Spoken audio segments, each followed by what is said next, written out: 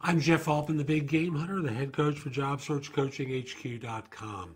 And the question for today is Is it okay to apply to multiple positions at the same company? Now, I have to make the answer textured because there's a lot of variables that aren't presented here. First of all, to get this out of the way, why are you applying to jobs?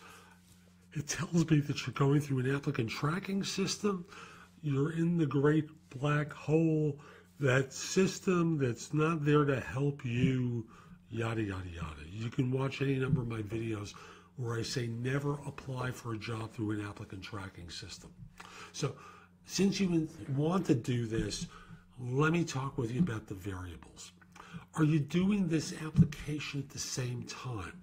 That is, you've seen a group of positions today and want to apply for them that's one variable. Another one is, hey, you applied for one job, two weeks later, another one opens up, you want to apply for that.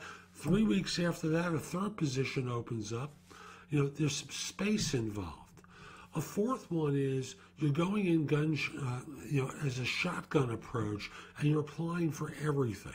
You want to be an intern, you want to be a chief operating officer, you want to be a lot of different things, and you're just applying to a firm. That's the those are the variables. And let me walk through the three that I've posed here. You're doing the shotgun approach. Don't do it. You're not qualified for the for most of the positions that you're applying for, all you're doing is acting like a spammer. Don't do it. Invariably, as someone I saw wrote recently, they'll take your resume and delete it, block it. They may do things that will keep you from ever coming to, uh, not, I shouldn't say ever, they'll keep you from being able to be hired this time because you're a serial applier. I remember someone on Job Search Radio I interviewed said that to me. Uh, and they worked at a, a medical facility. They just found that was a colossal waste of time. Let's say there there's a position open now and one two weeks from now and another one three weeks from now and your background legitimately fits by all means apply because you don't know whether it's different hiring managers who will see different things in your background. The second position, the third position, don't apply if you're already interviewing for the first job. Managers are not going to compete for you. I want to repeat that. They are not going to repeat, uh, uh, compete for you. As a result, all that happens is HR notices this and goes, "What are they doing? We have them in the in the process now." So you turn people off when you do stuff like that. I believe the third alternative was you're just going in and you're applying for you know, 25 different positions that happen to be open now. I explained it a little bit differently the, fir- the first time I, I the first time I, I stated the option, but you get the idea.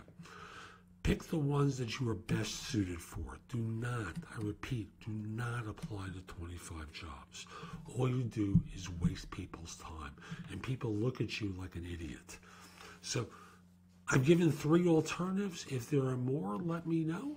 And hope you found this helpful. And if you'd like me to coach you in your job search, if you're at a senior level, email me at jeffaltman at thebiggamehunter.us. In the subject line, put the word coaching.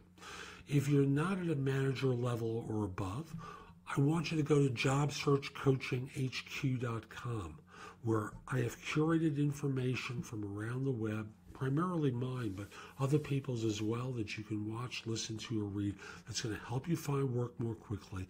And you can ask me questions all for one low price monthly. Again, jobsearchcoachinghq.com. Hope you have a great day and take care.